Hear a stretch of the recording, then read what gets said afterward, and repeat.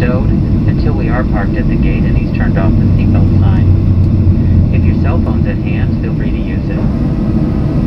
On behalf of the entire flight crew, thanks for going with us, and we hope to see you again soon.